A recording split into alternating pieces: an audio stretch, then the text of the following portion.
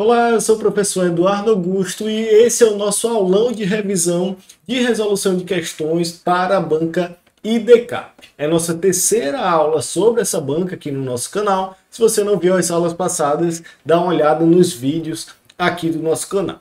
Antes de iniciar a aula em si, se inscreve aqui no nosso canal, que ajuda bastante o nosso trabalho.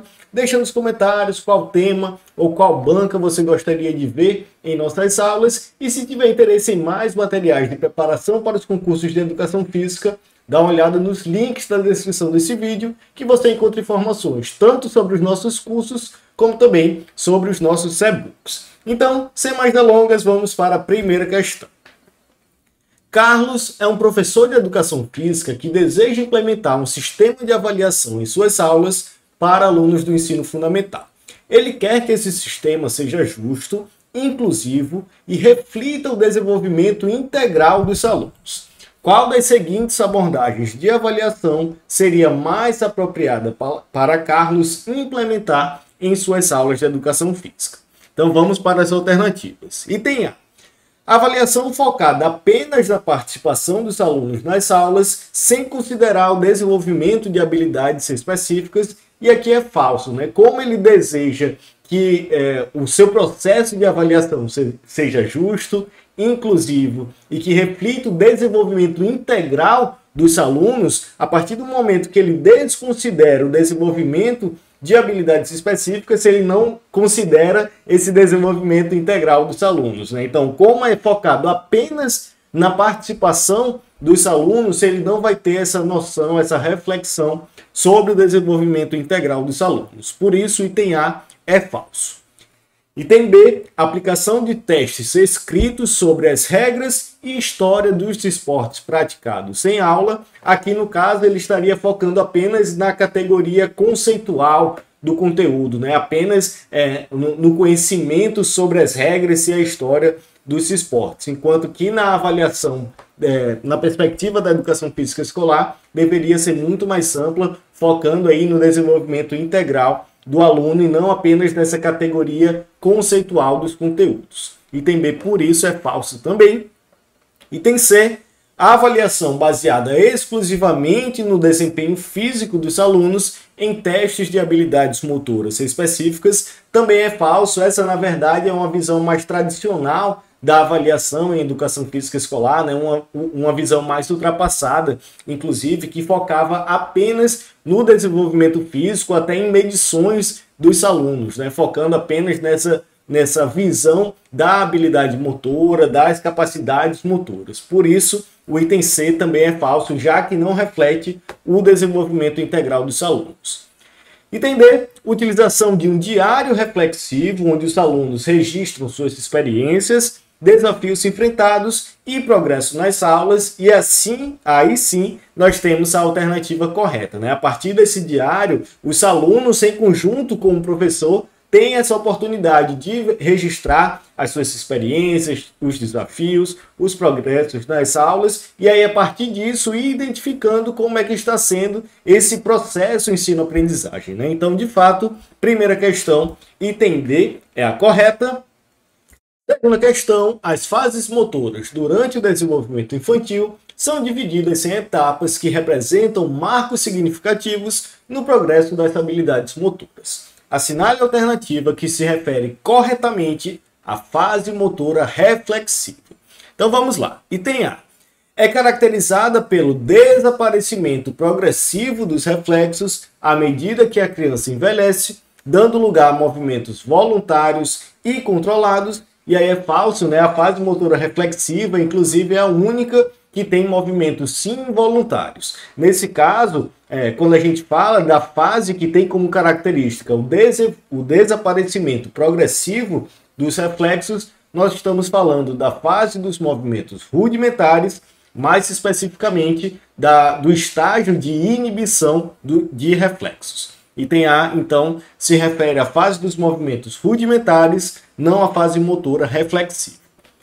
Item B. Acontece o surgimento de diversos movimentos que serão a base para que a criança possa aprender habilidades mais específicas e aprenda os movimentos especializados. E aqui nós temos a fase dos movimentos fundamentais. Né? É, a partir dessa fase, que a gente tem essas habilidades motoras fundamentais de locomoção, estabilização e manipulação, que vão ser de fato a base para as outras diversas habilidades motoras que é, essa, esse indivíduo vai aprender ao longo de sua vida. Item C. Acontece o aperfeiçoamento dos movimentos fundamentais. Aqui nós temos, na verdade, a fase dos movimentos especializados, a última das fases do desenvolvimento motor.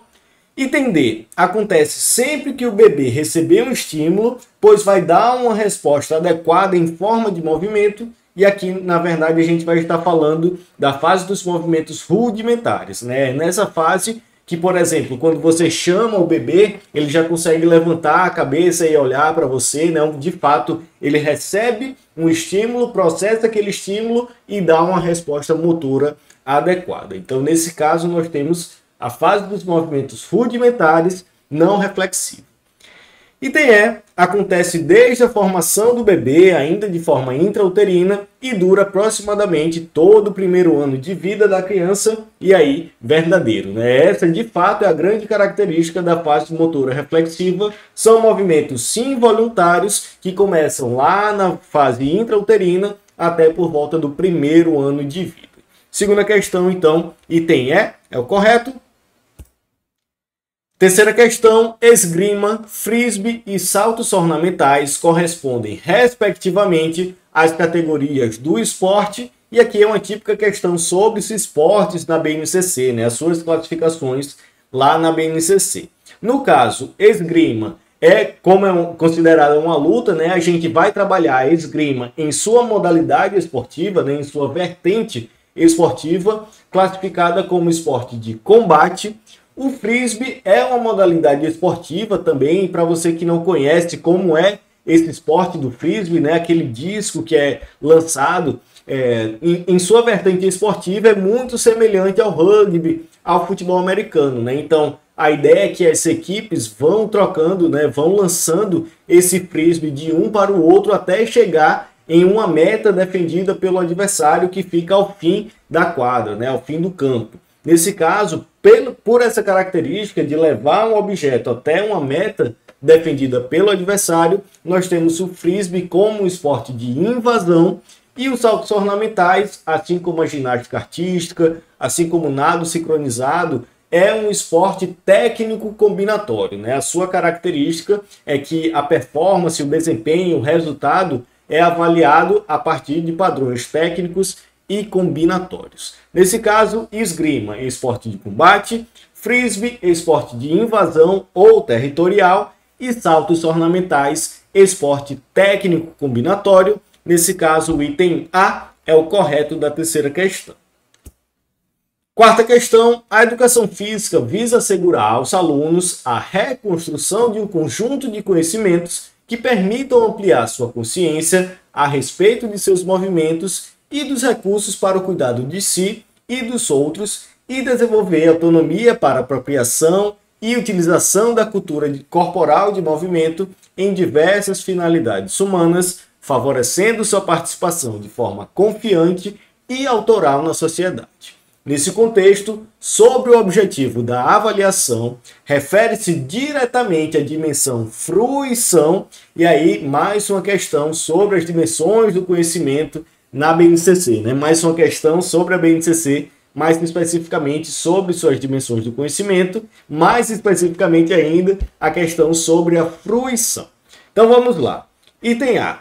Refere-se ao conhecimento que possibilita ao estudante ter condições de realizar de forma autônoma uma determinada prática corporal, e aqui a gente não está falando da fruição, e sim da dimensão do conhecimento chamada uso e apropriação. Quando a gente fala dessa é, forma autônoma de utilização das práticas corporais, né, a, a condição de realizar de forma autônoma a, as práticas corporais, a gente está falando de uso e apropriação. Então, o aluno não aprende apenas para realizar aquela prática durante a aula de educação física, mas que ele tenha é, autonomia para realizar ao longo de sua vida e não apenas no cenário escolar. Item A, então, incorreto. Item B, vinculada com a apropriação de um conjunto de conhecimentos que permita ao estudante desfrutar da realização de uma determinada prática corporal e ou apreciar essas e outras tantas quando realizadas por outros e aí verdadeiro, né? Na definição de fruição, a gente tem muito aquela citação relacionada à apreciação estética das experiências geradas, né, é, pelo humano. Porém, quando a gente fala dessa dessa é, dimensão do conhecimento que permite ao estudante desfrutar de, da realização de uma prática corporal e ou apreciar essas e outras tantas quando realizadas por outros, a gente está sim falando da dimensão do conhecimento chamada fruição. Então, item B já é o correto.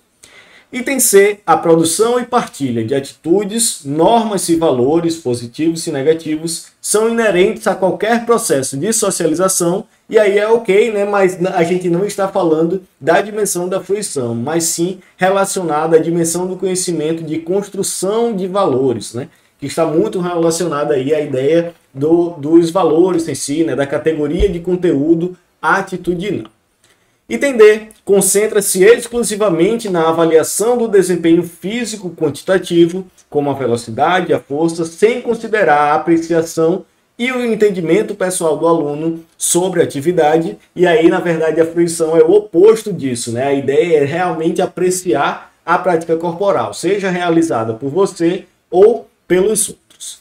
Item E refere-se aos conhecimentos originados na observação e na análise das próprias vivências corporais e daquelas realizadas por outros. Aqui a gente vai estar falando sobre a reflexão sobre a ação e não sobre a fruição. Quarta questão, então, realmente item B é o correto. Quinta questão, fenômeno comum apresentado no organismo relacionado diretamente ao exercício, que diz respeito à estabilidade que é provocada em alguns órgãos, músculos e tecidos e que pode manter o equilíbrio da produção de substratos energéticos e a manutenção da frequência cardíaca para a realização do exercício. Na medida em que se eleva o grau de dificuldade, o organismo se ajusta, demandando maior custo energético. O texto citado acima refere-se a, e aí a gente tem dois conceitos que são semelhantes e que vão fazer diferença para resolver essa questão. A gente tem o conceito de homeostase e temos o conceito de estado estável ou steady state, né, em inglês. A homeostase é esse equilíbrio das funções orgânicas, porém quando o corpo não está em condições de estresse. Né? Então, quando a gente está é, em casa, por exemplo, a gente está é, sentado ali, a gente está de fato em homeostase, já que o corpo, todas as suas funções corporais estão em pleno equilíbrio, sem estar em condições de estresse. Porém, quando a gente fala desse equilíbrio, principalmente energético, durante o exercício, a gente vai estar falando do estado estável. É, por exemplo, aquele momento em que você está correndo e que você sente que consegue correr ali por mais duas, três horas sem parar, né? Aquele momento em que de fato as suas, a sua demanda energética está sendo realmente compensada pela sua produção de energia. Então você está em equilíbrio durante o exercício. Se for fora do exercício, se for em condições normais, fora de uma condição de estresse, a gente fala de homeostase, porém, se for é, é, o corpo em equilíbrio, né, as suas demandas energéticas em equilíbrio durante o exercício físico, a gente fala de estado estável. Nesse caso, então, quinta questão, o item C é o correto. E antes de continuar para a sexta questão, uma recomendação a respeito dos nossos materiais. Né? A gente tem tanto e-books de questões comentadas, temos alguns mini cursos de questões é, comentadas sobre bancas específicas, mas o nosso principal material é o nosso curso da preparação à aprovação. É um curso de acesso vitalício focado na preparação a partir dos temas mais recorrentes dos concursos de educação física, independente do concurso e da banca que você irá realizar. Então, nele, atualmente, nós temos mais de 50 videoaulas de teoria sobre esses temas mais recorrentes, tanto de concursos da licenciatura como de concursos do bacharelado. Nós temos módulo de simulados com suas respectivas aulas de resolução das questões, o módulo do método ATP, que é um módulo focado na organização e planejamento de estudos, né, onde a gente trabalha algumas estratégias importantes. Como eu falei anteriormente, É um curso de acesso vitalício, você só precisa se inscrever uma vez para poder acessar sempre que quiser e ter acesso gratuito essas atualizações. Banco de provas com mais de 600 provas das diversas bancas do país e o que eu considero mais importante, que é o suporte exclusivo via WhatsApp. Se você tiver qualquer dúvida, pode falar diretamente comigo lá pelo nosso WhatsApp, justamente para tirar as dúvidas, sejam realizadas a preparação de forma geral ou sobre os conteúdos de forma mais específica. Então fica a recomendação, se você tiver interesse em conhecer um pouco mais, dá uma olhada nos links da descrição desse vídeo. Então, continuando, sexta questão.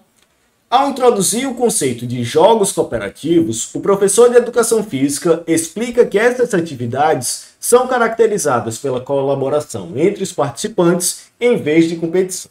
Eles incentivam a interação, o trabalho em equipe e a construção de relações positivas entre os alunos. O principal objetivo dos jogos cooperativos é, item A, desenvolver habilidades individuais focando no aprimoramento pessoal dos alunos, e aí é falso, né? Justamente o oposto disso é desenvolver habilidades coletivas, né? a solidariedade, a cooperação, o respeito e assim por diante. Então, quando a gente fala de desenvolver habilidades individuais, a gente realmente não está falando de jogos cooperativos. Item B. Fomentar a exclusão dos alunos menos habilidosos, garantindo que apenas os mais talentosos se destaquem e aí também é incorreto, né? A ideia é fomentar a inclusão independente do seu nível de habilidade. Então, a ideia é todo mundo jogar junto, independente se você é muito bom ou muito fraco naquele determinado esporte, né? A ideia é garantir oportunidades iguais e a inclusão de todos durante a, a participação no jogo. Item C priorizar a vitória do grupo sobre a diversão, aqui a gente já consegue eliminar, né? Quando a gente fala de priorizar a vitória, muitas vezes é, o jogo cooperativo em si não tem nenhuma vitória é, em si, né? A gente tem, por exemplo, jogos de resultado coletivo, onde todo mundo está jogando junto, é, buscando ali um, uma meta coletiva comum, né? Então não se trabalha a ideia da vitória é, para um grupo específico, mas sim todo mundo está buscando um resultado, uma meta coletiva comum. Entender, estimular rivalidade saudável e o desejo de vencer, promovendo a competição entre os alunos, na verdade é o oposto disso, isso seria aqui a característica do jogo competitivo. Item é promover a colaboração, o respeito mútuo e o senso de coletividade entre os participantes, aí sim nós temos uma, uma característica dos jogos cooperativos. Sexta questão, item é. Sétima questão, a partir dos anos 60, começou a ocorrer um avanço científico promissor com o aumento do número de laboratórios de fisiologia do exercício pelo mundo. Wasserman e McLaury, baseados em um estudo utilizando indivíduos com patologias cardiovasculares, criaram a concepção de limiar anaeróbio, fenômeno estudado até hoje através de protocolos e metodologias distintas. Fisiologistas como Heidel e seus colaboradores, primeiros a descreverem o método de treinamento intervalado em um periódico científico. Em 62, Astron e o grupo de pesquisadores americanos liderados por Fox tiveram destaque na área. Sobre o método de treinamento intervalado, marque a alternativa incorreta. Então vamos lá. Item A. O treinamento intervalado consiste na aplicação repetida de exercícios e períodos de descanso de modo alternado, até aqui ok. Nesse método, as intensidades são variadas, com períodos de esforço com intensidades elevadas, seguidos por períodos de recuperação, que podem ser ativos, com baixa intensidade, ou passivos, de descanso. E aí, perfeito. Né? Essa realmente é a definição do treinamento intervalado. A repetição de momentos de exercício com períodos de descanso. Né? Essa alternância do estímulo com a recuperação, com o descanso. E aí, nesse caso, o descanso pode ser tanto ativo, é, onde a gente realiza um exercício com uma baixa intensidade, ou passivo, onde a gente realmente para total. Item A está perfeito. Item B, no treinamento intervalado, as intensidades são variadas com períodos de esforço com intensidades elevadas, seguidos por período de recuperação. Perfeito também, né? É exatamente isso que na alternativa A fala.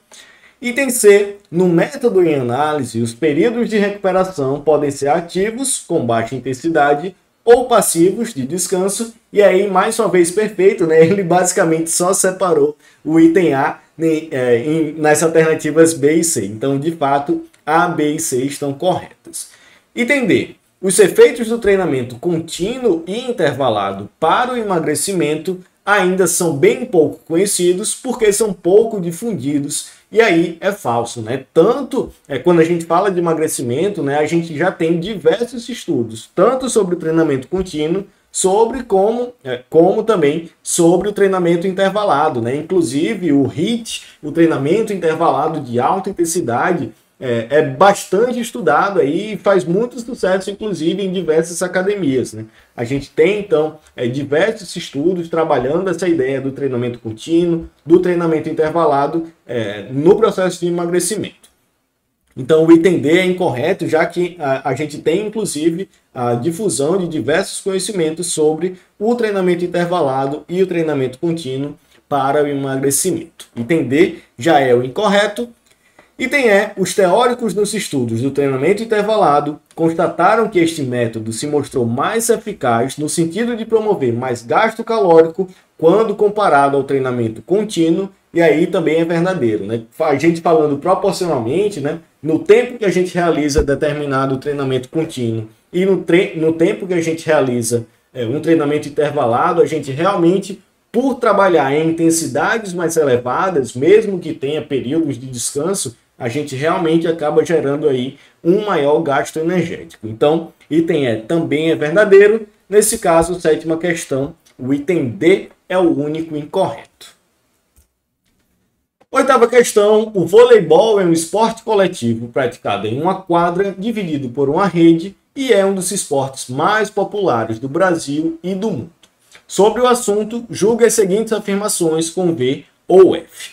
Primeiro, a rede é instalada verticalmente sobre a linha central. Sua altura difere de acordo com o gênero. Para homens é de 2,3 metros e para mulheres 2,1. E aí é falso, né? Quando a gente fala dessa altura da rede no vôlei, de fato tem a diferença entre os gêneros, porém para homens é de 2,43 metros, enquanto que para mulher, enquanto que para mulheres é de 2,24 metros.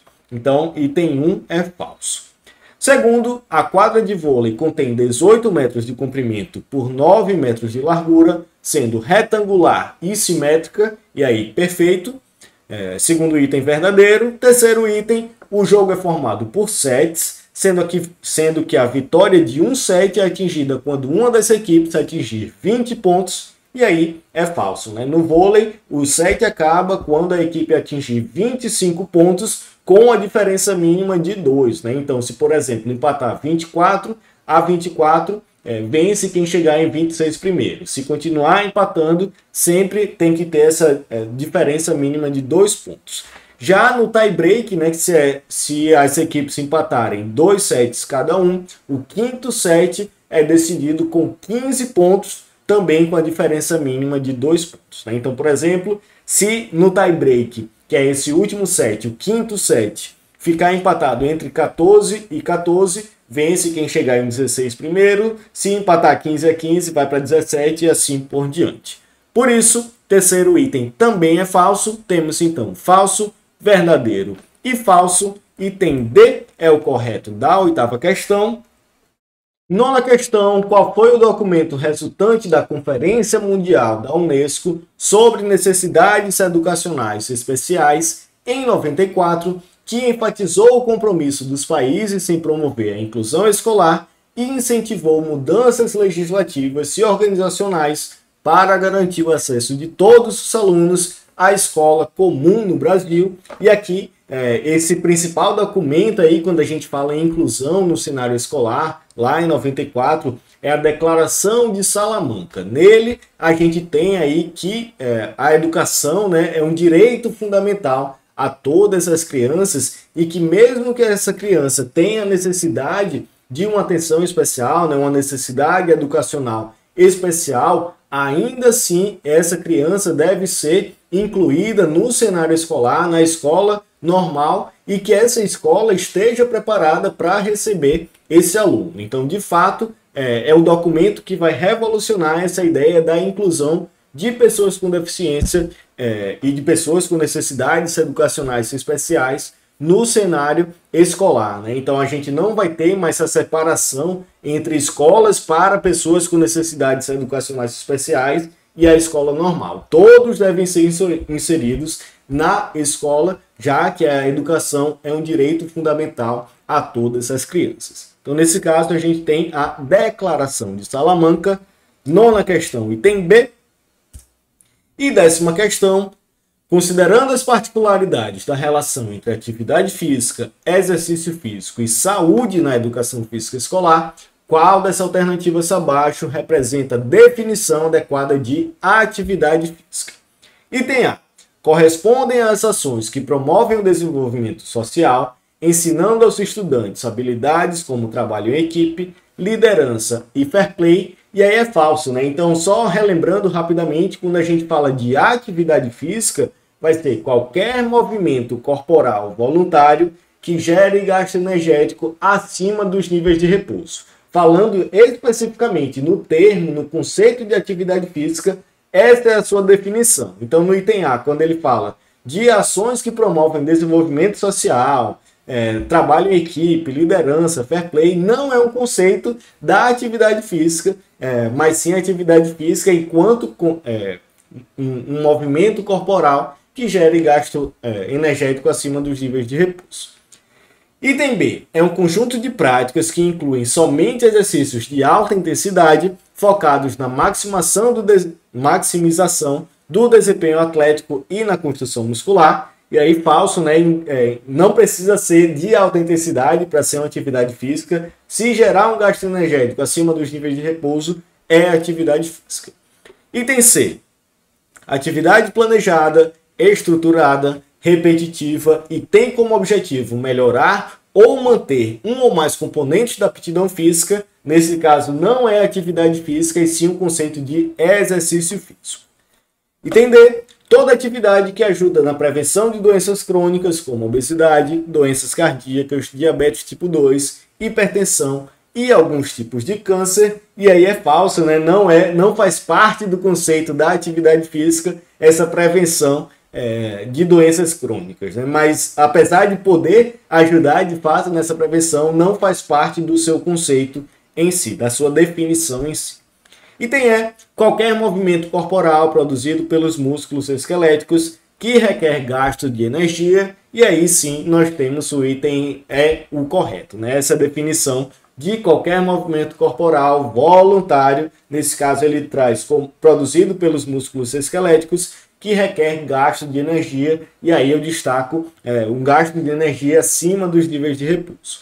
Décima questão, então, item E é o correto, e com isso finalizamos a nossa aula, nosso aulão de revisão com questões da banca IDEPCAP. Qualquer dúvida, fico à disposição aqui no nosso canal do YouTube ou lá no nosso Instagram, arroba concurso Física. Lembrando, se tiver interesse em mais materiais de preparação para os concursos de educação física, dá uma olhada na descrição desse vídeo. Então é isso, muito obrigado e até a próxima.